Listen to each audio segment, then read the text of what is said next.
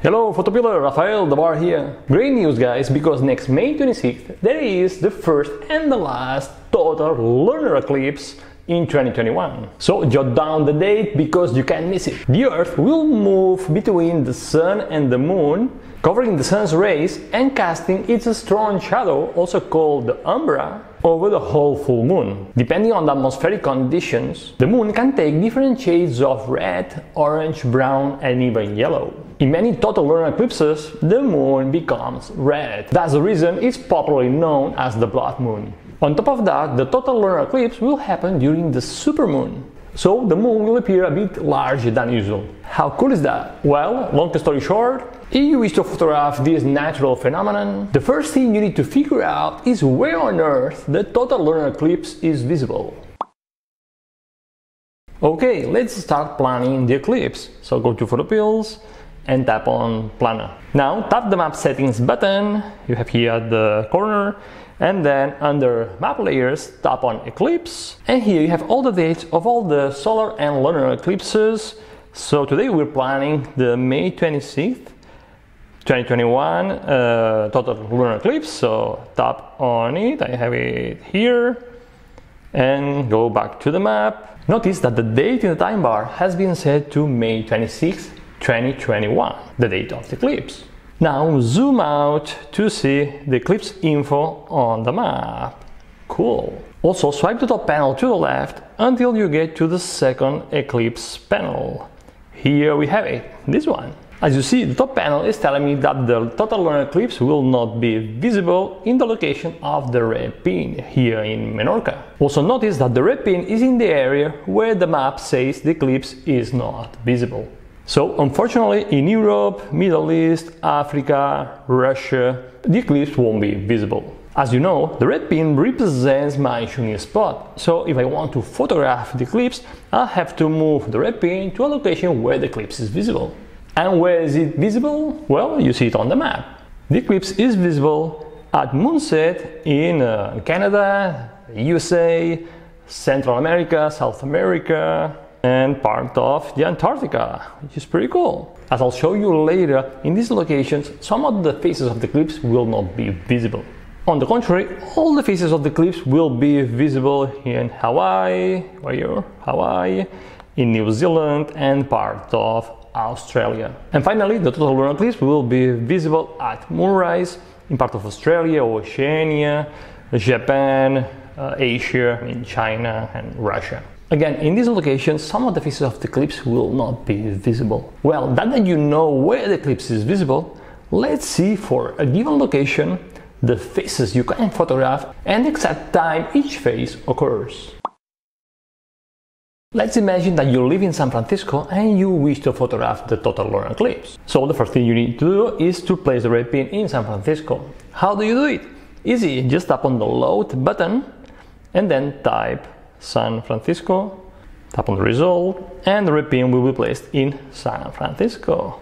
How cool is that? Now, on the top panel, you have all the phases of the clips that are visible in San Francisco in the red pin position. But most important, you also have the time each phase of the eclipse occurs. Because on its journey through the Earth's shadows, the moon goes through seven phases. When the penumbral eclipse begins, it's when the moon enters the penumbral shadow, Earth's weakest shadow. The eclipse is almost not perceptible at the naked eye. Then we have when the partial eclipse begins. The moon enters the umbra shadow, Earth's strong shadow. The eclipse becomes more and more perceptible. And then we have when the total lunar eclipse begins. It's when the Earth is totally covered by the Earth's umbra, the strong shadow. Then we have when the eclipse is greatest, it's the central moment of the total lunar eclipse. And then we have when the total eclipse ends, when the partial eclipse ends, and the final phase, it's when the penumbral eclipse ends. Going back to the planner, in San Francisco for the red pin position, the penumbral eclipse begins at 1:48 a.m. The partial eclipse begins at 2:45 a.m. The total lunar eclipse begins at 4:12 a.m. The eclipse is greatest at 4:19 a.m. The total lunar eclipse ends at 4:26 a.m. The partial eclipse ends at 5:53 a.m.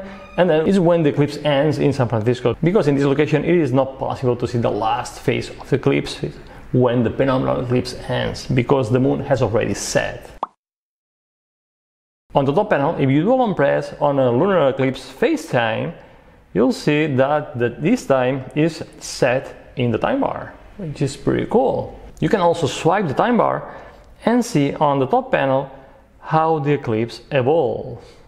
Awesome, I love this. Well, to sum up, on the top panel you have the times each phase of the eclipse occurs, and on the map you have the direction where the eclipse occurs. You pay attention, you see this thin blue line that's moving now. That's the position of the moon at all time. So this is the position of the eclipse at all time. So with all this information, I think we have everything we need to plan our total lunar eclipse shot. Let's do it. If what you want is to photograph all the phases of the lunar eclipse without foreground, just the moon, then choose an open space as your shooting spot, like for example this beach here.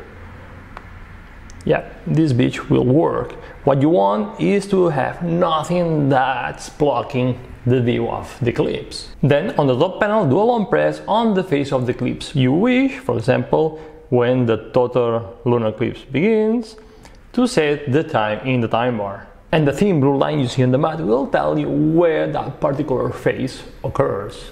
Also, when you are at the red pin position, you can tap on the AR button and use the augmented reality view to visualize where the eclipse will occur in the sky. Here we have the moon, so the eclipse will be there. The moon is about to set. Awesome. I love the reality views, they are so cool. Also remember that you can swipe the time bar and see where the eclipse phases occur at all time. If you are in a location where you can photograph the eclipse low in the sky, it happens in the areas where the eclipse is visible at moonset and also at moonrise. Then it's a good idea to align the lunar eclipse with an interesting subject, like for example in this photo by Joaquin Marquez. If you wish to learn how to plan this kind of photos, the moon aligned with an interesting subject, watch this video. Another option is to use a camera with a telephoto lens to photograph all the phases of the eclipse and a second camera with a wide angle lens to photograph the eclipse path and also the landscape. And then put them together in post to create a composite image where you can see this beautiful and powerful landscape and also the big phases of the total lunar eclipse. But what's important here is to place each phase of the lunar eclipse where it really occurred in the sky like in this photo you're seeing now by Jose Antonio Hervas, which was featured by NASA.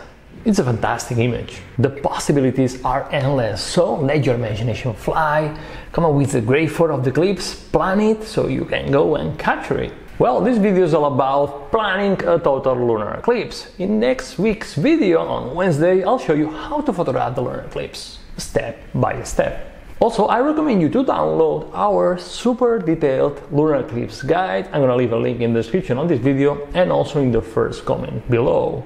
Check it out. And if you like this video, give me a like, subscribe, and I'll see you next Wednesday in another video. And remember that you have the power to imagine, plan, and shoot legendary photos. Bye bye.